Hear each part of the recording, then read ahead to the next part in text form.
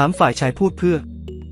ยังเป็นประเด็นให้ถูกพูดถึงสำหรับเรื่องราวชีวิตคู่ของคุณแม่สุดแซ่บอุ้มลัคนากับสามีบอลกฤษณะหลังฝ่ายชายยอมรับผิดทรยศครอบครัวก่อนคุณแม่ของอุ้มจะเปิดประเด็นเดือดผ่านโซเชียลโต้ถูกใส่ร้าย ไม่เคยยืมเงินสักบาทมีแต่ให้ยืมหลักล้าน ซึ่งหลายคนก็พุ่งเป้าไปที่ลูกเขยเต็ม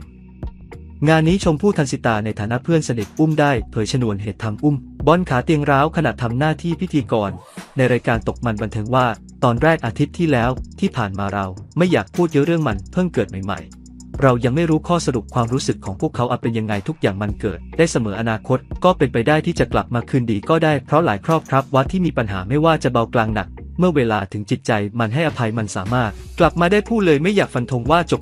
100%หรือว่าอะไรยังไงแต่รู้ปัญหาคราวๆมันก็เป็นเหตุบังเอิญที่เพื่อนอุ้มมีอยู่วัน หนึ่งดันไปเห็นข้อความบางอย่างไปเห็นหลักฐานบางอย่าง ซึ่งทำให้รู้สึกว่า เฮ้ยมันคือเกินเลยหรือเปล่า มีอะไรที่มากกว่าคนรู้จักหรือเปล่า ก็เลยมีการพูดคุยกันพอคุยเสร็จ ก็มีปากเสียงมีการทะเลาะมีความไม่เข้าใจ ก็เลยหอบลูกมาอยู่ที่กรุงเทพสักพักหนึ่งนี่แหละต้องบอกตรงนี้เท่าที่คุยกับอุ้มต้องบอกตรงๆว่า เรายังไม่รู้ความผิดน้อยกลางมากด้านบุ๋มปนัดดาพิธีกร ร่วมรายการกล่าวเสริม หลังได้อ่านข้อความสารภาพผิดของบอลบอกว่า มันแปลว่าอะไรกับคำเขียนอย่างนี้กับมีหลาย ๆ วิตรภาพที่ทำให้ผมรู้สึกว่า ผมยังมีค่า คืออายังต้องการเขียนหาความดีจากสิ่งที่ตัวเองทำผิด